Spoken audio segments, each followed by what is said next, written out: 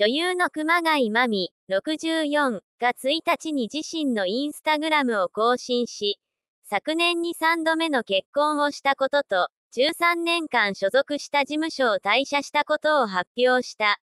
この度、熊谷真美は13年在籍させていただきました。株式会社アワーソングスクリエイティブを2024年3月31日をもちまして退社いたしましたことをご報告させていただきます。と公表。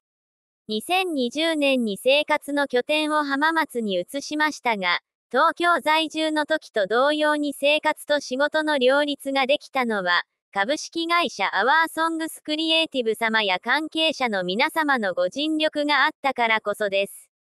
スタッフの皆様、関係各所の皆様、心より感謝申し上げます、と感謝した。今後については、引き続き女優というお仕事もやらせていただくと同時に、様々なことに興味を持って、学びと挑戦をやめない人生を送りたいと思っています。と記し、最後に私事でありますが、この度2023年に一般の方と結婚したことも合わせてご報告させていただきます。と発表。これからも変わらず、お仕事させていただいている皆様、応援してくださる皆様へ感謝の気持ちを忘れずに一層お仕事に邁進してまいります。これからもよろしくお願いいたします。とメッセージを寄せた。熊谷は1980年、劇作家の塚公平と結婚したが82年に離婚。